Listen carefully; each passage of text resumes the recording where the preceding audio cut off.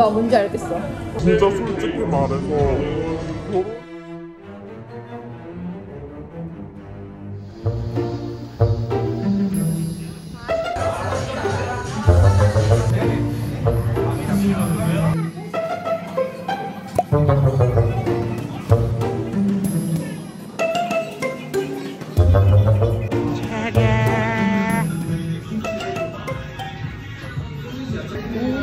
되게 실하다.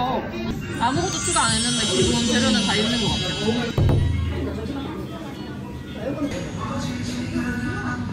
그냥 진짜 딱 기본 매운맛의 마라탕 느낌? 적당히 매운 것 같아.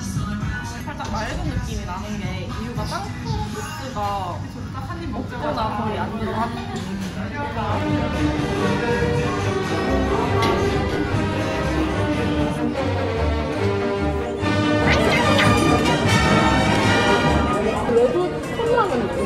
음, 건조하다고 해야 되나?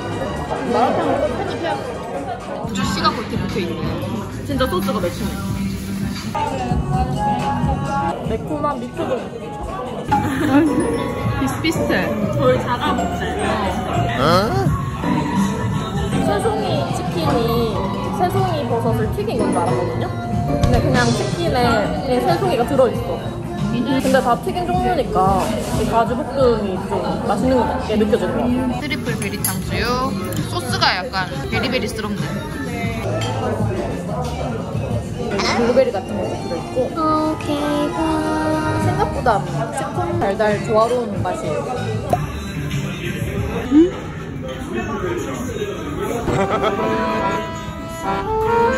약간 장조림 맛인데 질겨. 질기던 후기가 뭔지 알겠어. 바삭한데 탱글탱글. 근데 안에 튀김옷이 조금 두툼한 것 같아. 진짜 솔직히 말해서 결혼식 뷔페감이 있을 것 같아요. 진짜 맛없진 않은데 딱 그 맛이에요. 음. 내가 봤을 때 볶음이랑 마른스랑 치킨 하나랑 탕수육 딱 먹으면 될것 같아. 음. 치킨이